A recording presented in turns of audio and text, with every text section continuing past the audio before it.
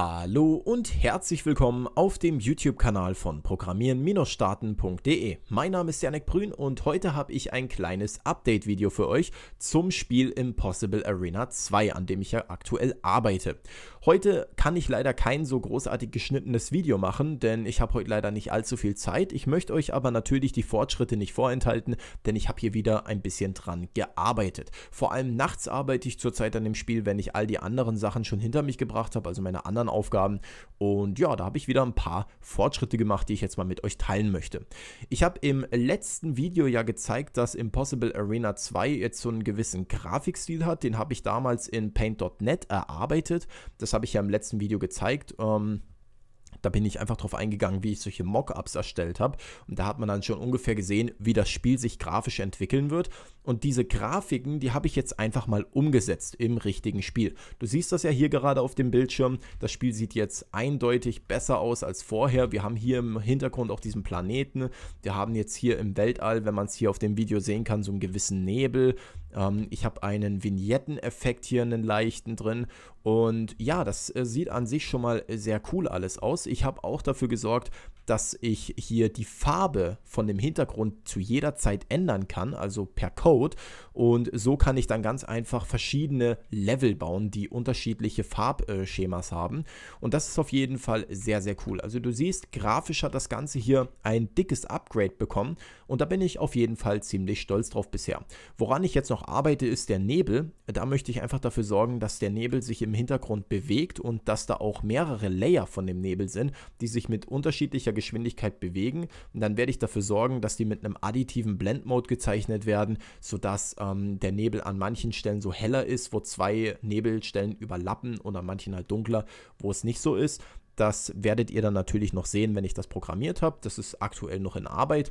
Und ja, wie du sehen kannst, habe ich auch hier am Rand so ein ja, Level, also eine Levelgrenze gebaut. Und das Coole an dieser Levelgrenze ist, dass die im Code dynamisch erstellt wird. Diese Levelgrenze habe ich jetzt nicht einfach so eingesetzt in mein Spiel. Also ich kann das ja mal zeigen. Ich gehe mal in den Room rein. So, gehen wir in den Room Test Level. Dann siehst du, habe ich hier einfach einen gigantischen Level, aber da sieht man jetzt nicht die Farbe von dem, äh, von dem Level und man sieht auch die Grenzen nicht. Die Grenze des Levels orientiert sich nämlich dynamisch nach der Größe des Raumes und versuchst, versucht mit einem gewissen Abstand zu den Rändern des Raumes halt ja einen Rand für die Arena zu bauen. Und das ist sehr sehr cool, denn wenn ich jetzt diesen ja, Level größer haben will und diese Grenzbereiche größer haben will, dann muss ich einfach nur die Raumgröße ändern. Das kann ich ja einfach mal zeigen. Aktuell haben wir eine Größe von 2500. Jetzt mache ich mal eine Größe von 4000. Und dann sehen wir, dass auch die Arena um einiges größer ist. Also das äh, passt sich hier wirklich dynamisch an und das ist auf jeden Fall ein sehr, sehr cooles System. Hier haben wir jetzt einen kleinen Grafikfehler mit dem Nebel, aber das ist ja egal. Wir können jetzt mal hier rüberfahren und dann sehen wir, dass wir hier jetzt wirklich eine weitaus größere Arena haben, nur weil ich die Raumgröße verändert habe.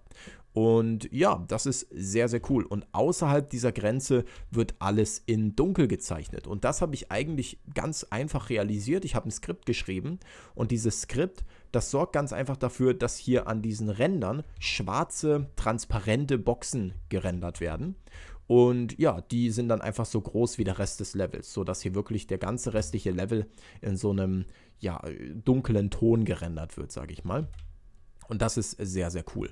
Ähm, ja, kann ich ja auch mal den Code dafür zeigen. Wir gehen jetzt einfach mal hier raus. Ich kann jetzt erstmal hier den OBJ-Vignette zeigen. Das ist dieses Objekt, in dem ich wirklich dafür sorge, dass der Level mit einer Farbe gezeichnet wird und dass wir auch diesen leichten Vignetten-Effekt haben. Wir sehen, wir haben hier eine Variable Color und die kann ich jetzt einfach mal von C-Blue auf C-Red umändern und wenn wir das machen, dann sehen wir, dass wir hier jetzt tatsächlich ein rotes Level haben. Also das ist sehr variabel gemacht und das ist auch sehr cool. Du siehst, das Ganze wird jetzt rot gerendert.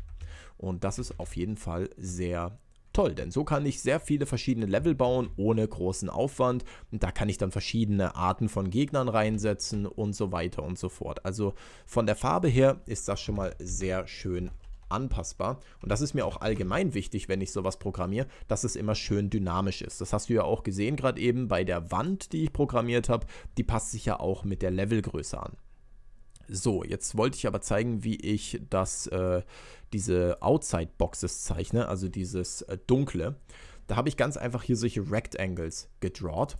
Und ja, da habe ich Parameter übergeben, die sich dann an den Grenzen orientieren, sodass meine Boxen hier auch wissen, wo die Levelgrenze ist und wo sie dann wirklich gezeichnet werden müssen, um wirklich den Rest vom Level, der nicht zur Arena gehört, in einem dunklen Ton zu zeichnen.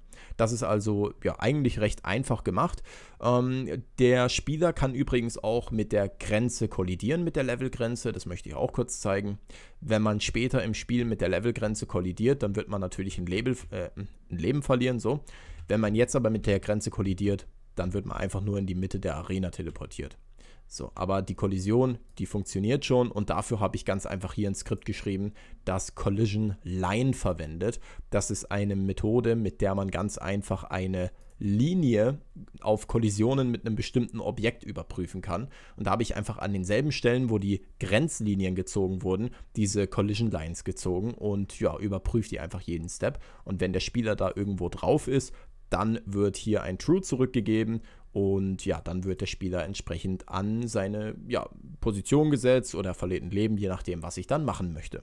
Und ja, das sind die Fortschritte zu Impossible Arena 2. Ich hoffe, das Ganze gefällt euch. Wenn ihr noch Vorschläge habt für mich, dann schreibt das auf jeden Fall in die Kommentare denn daran orientiere ich mich auf jeden Fall. Ähm, ich werde auch für den Cursor hier natürlich noch ein bestimmtes Sprite erstellen. Man wird da später jetzt nicht hier im Spiel äh, den Mauszeiger als Zielscheibe benutzen. Das habe ich in den Kommentaren schon gelesen im letzten Video. Ähm, keine Sorge, das werde ich auf jeden Fall noch ändern, aber das hat jetzt nicht so eine hohe Priorität für mich. Ich arbeite gerade eher an dem Level-Generator, der dafür sorgt, dass hier wirklich ein schönes Weltall generiert wird mit Planeten im Hintergrund und so weiter und so fort. Und dann werde ich erste Gegner einsetzen und so weiter und dann werde ich sowas mal machen. Also das ist auf jeden Fall auf der To-Do-List, aber das habe ich jetzt noch nicht in Angriff genommen. Gut, in diesem Sinne war es das mit diesem Video. Ich hoffe, das Ganze hat euch gefallen. Wenn ja, würde ich mich sehr darüber freuen, wenn ihr dem Video einen Daumen nach oben da lassen würdet und falls ihr es noch nicht getan getan habt, dann abonniert diesen Kanal, um nichts mehr zu verpassen. Wir bringen wirklich regelmäßig neue Videos wie dieses hier raus und wenn das genau euer Ding ist, dann lasst auf jeden Fall ein Abo da. Nächstes Mal kommt wieder ein normaler Entwickler-Vlog, der ein bisschen geschnitten ist. Ähm, mich würde auch mal eure Meinung dazu interessieren, wie ihr jetzt dieses Format hier fandet, also wie ich ähm, den Entwickler-Vlog heute gemacht habe. Ist ja ein bisschen anders als sonst. Und ja, lasst mir da auf jeden Fall einen Kommentar da. In diesem Sinne verabschiede ich mich und wünsche euch noch einen wunderschönen Tag. Auf Wiedersehen. Übrigens, in der Videobeschreibung findest du einen Link zu unserem GameMaker Studio 2 Masterkurs. Das ist ein Videokurs, den ich aufwendig produziert habe, in dem du wirklich in über 7,5 Stunden Videomaterial alles lernst, was du wissen musst, um mit dem GameMaker Studio 2 eigene Spiele zu entwickeln. Falls dich das interessiert, dann schau da auf jeden Fall mal rein und ich würde sagen, wir sehen uns beim nächsten Mal wieder. Auf Wiedersehen.